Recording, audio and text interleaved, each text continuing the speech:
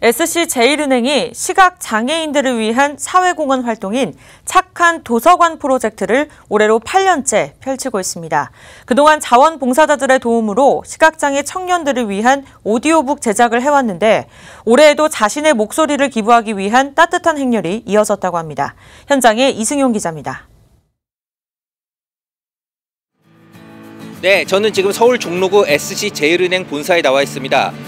이곳에서는 SC제일은행의 사회공헌 활동인 착한 도서관 프로젝트가 열리고 있는데요. 2011년부터 시작해 올해가 벌써 8년째 행사라고 합니다. SC제일은행의 착한 도서관 프로젝트는 그동안 시각장애인들을 위해 책, 영화, 미술작품, 문화재, 경제교과서, 진로탐색, 여행 가이드 등 다양한 주제의 콘텐츠를 제작해 왔습니다. 누적 참가자 수만 31만여 명에 이른다고 합니다. 이번 행사의 메인 프로젝트는 시각장애인용 오디오 콘텐츠 제작을 위한 목소리 기부자를 선발하는 착한 목소리 페스티벌입니다. 차단법인 한국시각장애인연합회 소속 시각장애인 20명이 심사를 맡아 최종 목소리 기부자를 찾는데요. 먼저 오디오북 녹음 참여자 100명을 선발하고 최종 심사를 거쳐 최종 목소리 기부자를 선출합니다.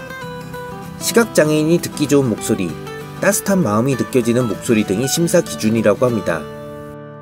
저의 작은 목소리도 누군가에게 큰 도움이 될 수 있다는 거에서 굉장한 의의를 두고 참여하게 되었습니다. 그래서 제 최대한 따뜻한 목소리가 많은 분들에게 따뜻하게 들렸으면 좋겠습니다.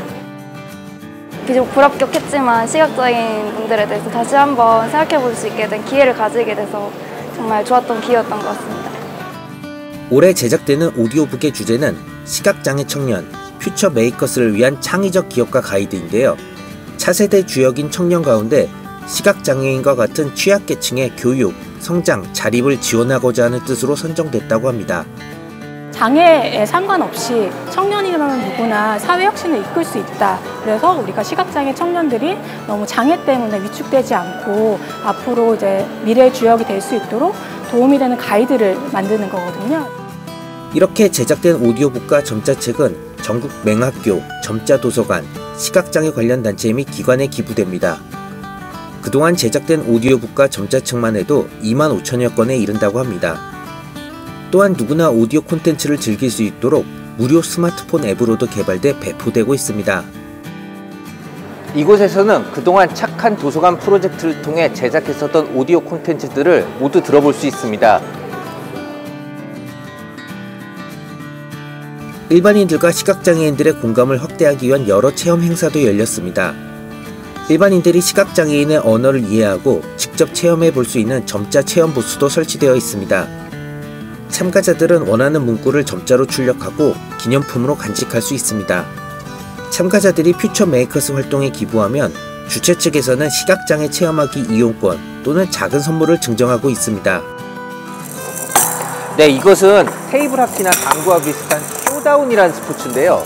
시각장애인이나 일반인들이라 모두 다 함께 즐길 수 있는 스포츠라고 합니다.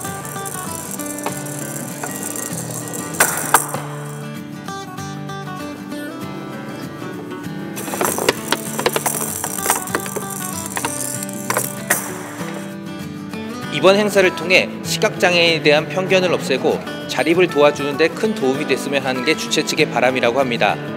빡세 뉴스 이승용입니다.